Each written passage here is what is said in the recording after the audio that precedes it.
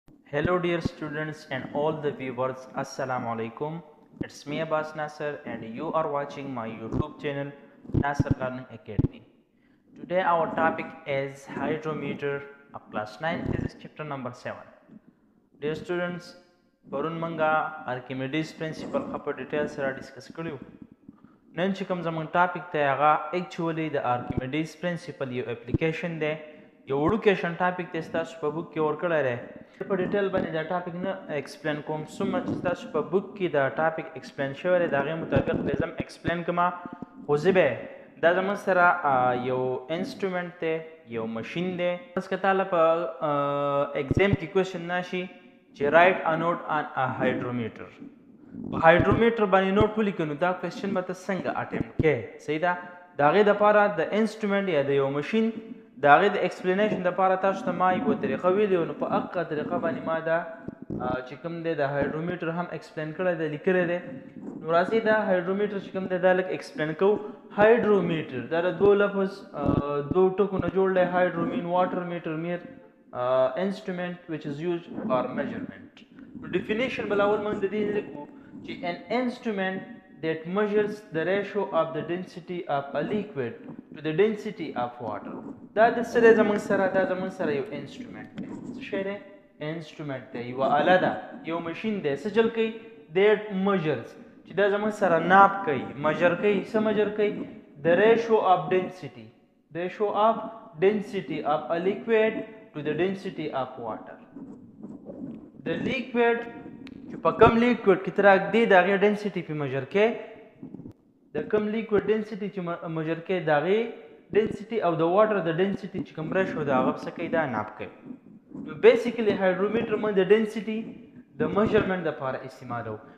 دی یو بل میجرمنټ هم دی زموږ سره سپیسیفیک ګریویټي هم میجر کوي خو دلته زموږ هغه کنسرن نه دی او د دې په ډیپ تلو کې هم ضرورت نشته څومره چې په بوک کې تاسو له درکړه دی هم اخومره به دا زه ایکسپلین کوم ځکه چې فردر ایکسپلین کوم نو تاسو د لیول نه خبره وځي دا خو شو زموږ سره د ډیفینیشن دویم د دې زموږ سره ورکینګ پرنسپل دی دا په کم پرنسپل باندې کار کوي د دې شاته د فزکس کم اصول پراته دي چې د هایډرومیټر دغه په بیس باندې جوړ شوی دی نو هغه دی زموږ سره ارکیمیډیز پرنسپل دا په ارکیمیډیز پرنسپل باندې څه کوي او کار کوي د دې شاته چې کوم فزیکس پرنسپل دی اصول دی هغه ارکیمیډیز پرنسپل دی په اردو کې ورته اصول ارخیمیدس وایي هغه دي اوس د دې زموږ سره پارټس دي نو زموږ سره د هایډرومیټر دوه پارټس دي یو زموږ سره کلیبریټډ ګلاس ټیوب دی دا یو ګلاس ټیوب دی چې په دې باندې کلیبریشن شوی د ډنسټي لپاره او بل په دې کې زموږ سره لټ شاټي په هغه کې لټ پراته د سره لپاره د درنوالي لپاره په دې کې دنه لټ پروت دی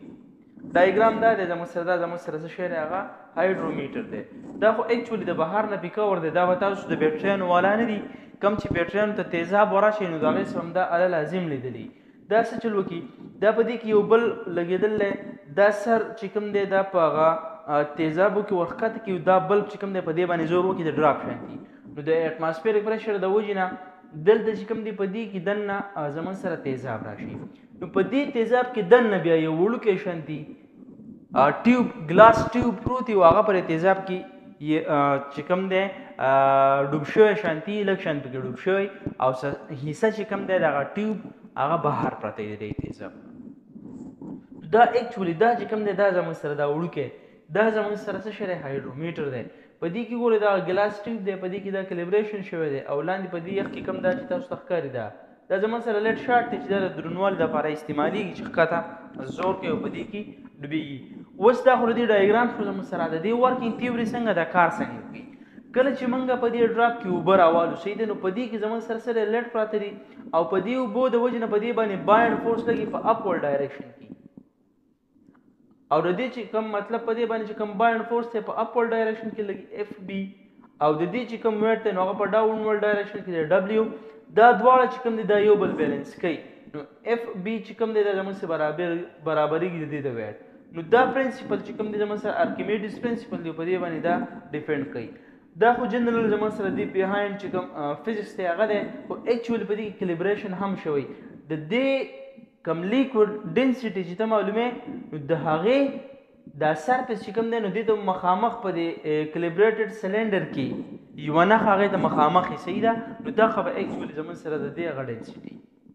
اوس چې کله دا موږ په ډینسر واټر کې یا په ډینسر لیکوډ مطلب موږ راچوت کو دا غیر ډینسټي ګورو نو دا به سي دا به لک شانتي په دې وبو کې ډوبي ډیر به بهاري ځکه موږ ویلو چې زموږ سره د یو او د یو سیز ډینسټي د وبو د ډینسټي نه کمه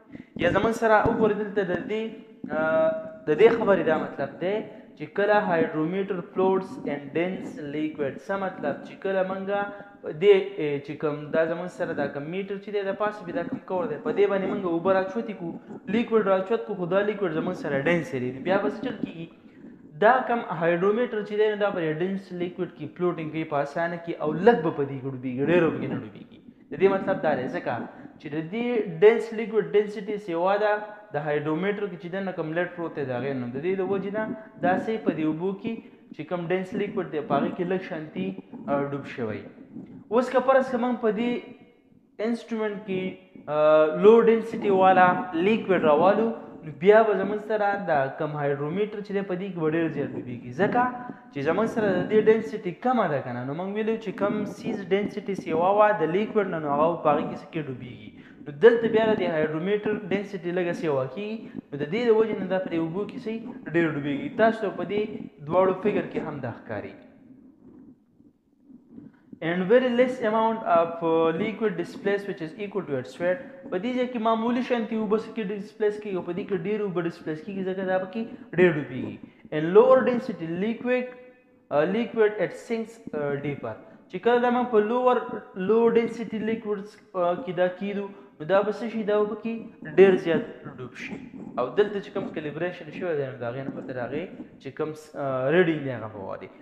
دا خو شوله موږ سره د دې ورکینګ تیوري کار څنګه کوي اوس د دې یوز څه دي په کم کم ځای کې موږ هایډرومیټر استعمالولی شو نو اولنی یوز چې کوم دی هغه د دې دی لیکټومیټر لیکټومیټر چې کوم دی دا زموږ سره اکچولي هایډرومیټر دی خو دا ډیزاین شوی د څه لپاره چې ته به د ډینسټي اف ملک د ملک ډینسټي ته معلومولی شي مطلب دا دی چې پرس که د شودو یو دکان دی او ته لاړ شي د ځان سره د کلکټومیټر ووري نو ته هغه ډنسټي معلومولای شي چې آیا دا زموږ سره پیور ملک دی شوده چې کوم دی دا پیور خرڅي کنه په دې کې وسره د وبو ملاوټ کوي بل دې زمون سره سکیرومیټر سکیرومیټر چې کوم دی د ډنسټي اف شوګر ان واټر په وبو کې د شوګر څومره مقدار دی هغه معلومیږي بل دی زمون سره الکوهولومیټر الکوهولومیټر چې کوم دی دا په سپیرټو کې د الکوهل های لیول په دی باندې د غیر ډنسټي مون معلومولای شو چې آیا په دې سپیرټو کې تاسو ته پته کې کوم سپیرټ چې تاسو استعمالوي د زخمونو لپاره د صفایي لپاره نو په دې کې اکچولي الکوهل